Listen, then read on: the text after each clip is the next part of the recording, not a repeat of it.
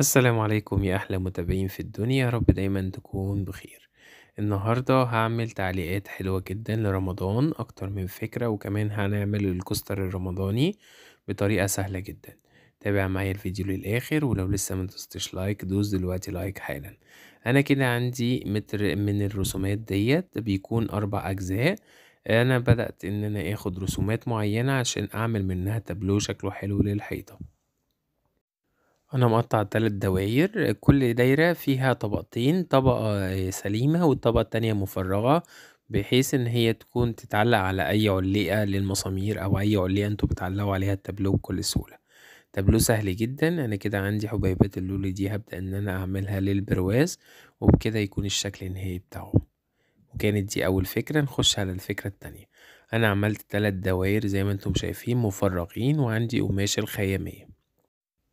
ببدأ كده إن أنا ألزق الكرتون أعمله بالشمع وبعد كده هلزق على القماش بتاع الخيامية بكل سهولة وأقصها وبعد كده هعمل لكل واحدة منهم طبقتين يعني الطبقتين هتكون وش ووش التاني ضهر أنا كده بقصها زي ما أنتم شايفين. هبدأ بقى إن أنا أفرغها من القلب بكل سهولة زي ما أنتم شايفين كده وبعد كده أشيل الزيادة تبقى كده عندي الدايرة خالصة. هبدأ إن أنا أقطع كده زي ما أنتم شايفين علشان خاطر أتنيها على جوه بحيث إنها تكون شكلها النهائي معايا نضيف وبكل سهولة. بصوا أنا بضغط بالشمع وبعد كده بقص بالمقص وألمها لجوه. حاجة كده سهلة جدا مش هتاخد منكم ولا وقت ولا مجهود خالص وهتعملوا حاجة زيها زي الجاهزة بالظبط. الأولويات دي طبعا هي الحاجات الجديدة اللي نازلة وفي حاجات جديدة في الفيديوهات اللي جاية تابعوا إن شاء الله. الفيديوهات بتاعة رمضان كلها هتكون مختلفة جدا عن اللي فات. زي ما أنتم شايفين أنا أهم شيء إن أنا بقطع كده زي ما أنتم شايفين وأجيبها لجوه بحيث إن الفينش النهائي بتاعها يكون شكله شيك جدا زيها زي الجاهزة. أنتوا مجرد ما هتبدأوا ان أنتوا تعملوها هتلاقيها سهلة معاكم بكل سهولة بتعملوها. مش لو ما عندكوش مسدس شمع ممكن تعملوا بالشمعة ذات نفسها. بتجيبوها من المكتبة وبتبدأوا تسيحوها لو عندكم شمعة أو بتبدأوا تعملوها على النار بتكون سهلة جدا للناس اللي معندهاش مسدس شمع. وممكن تعملوها بالغراء الأبيض المخفف بمية برضو هتلزق.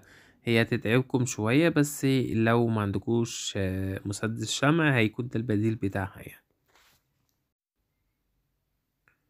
هي أول واحدة بس اللي هتاخد معاكم وقت وبعد كده هتحسوا إن هي سهلة جدا يعني بكل سهولة هتعملوها. بس هي أول واحدة هتحسوا إن هي فيها زيادات كده. كل الزيادات اللي أنتوا شايفينها من القماش دي إحنا بنشيلها بالمقص وبعد كده ببدأ إن أنا أجيب طبقة أعملها. وده كده شكلها أول واحدة عملتها. كده أنا جبت التلاتة مع بعض وجبت شريط ستان ولزقت عليه التلات وحدات. وعملت فوانيس كده زي ما أنتم شايفين تلات فوانيس من اللون الذهبي وبدأت إن أنا أزينهم بالظبط في المنتصف علشان يكون ده شكلها النهائي. بصوا ما شكلها وهي متعلقة روعة جدا حاجة بسيطة جدا شكلها روعة وممكن تعملوها من بواقي القماش بتاع الخيامية اللي عندكم وبواقي الفوم والستان. نخش بقى على الفكرة التالتة معايا. أنا عندي دلوقتي دي علبة مشبك تقريبا. هبدأ إن أنا أجيب الجزء ده من الخيامية وصورة طمطم اللي أنتم شايفينها وبرضو أعمل منها تعليقة أو تابلو بطريقة سهلة جدا. مش هتاخد أكتر من دقيقة بالظبط. بصوا أنا بلزقها بكل سهولة وأبدأ إن أنا برضو نفس الكلام أعمله من الداخل. أبدأ كده إن أنا ألزق كده من الداخل. تابلو الأطفال الصغيرين يقدروا يعملوه.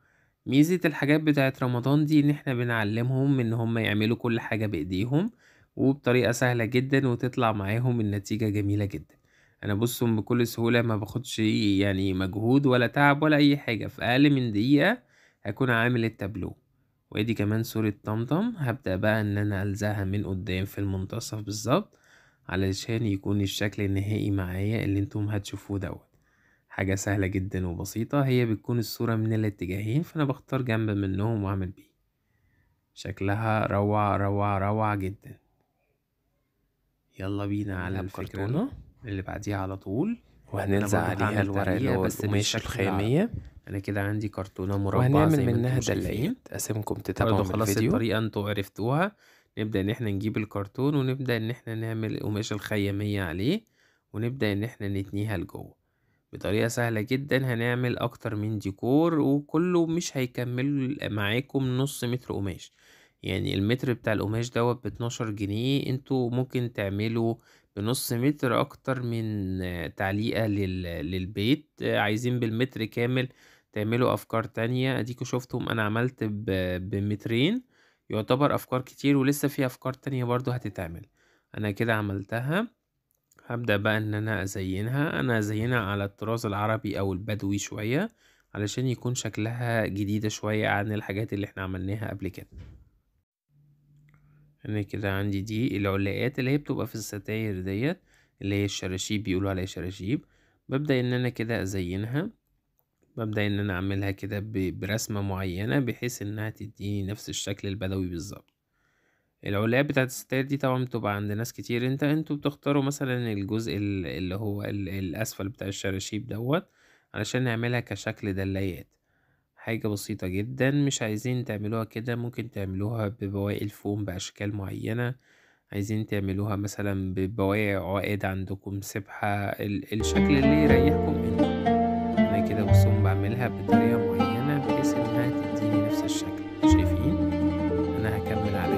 برضو نفس الحاجات اللي هي ناقصة هبدأ ان أنا اكملها فكرتها والله سهلة جدا. لو لسه بقى مدوستش لايك دوس دلوقتي لايك. أنا كده عملت كان عندي اللي هو الحبل دوت اللي هو بتاع تريكو.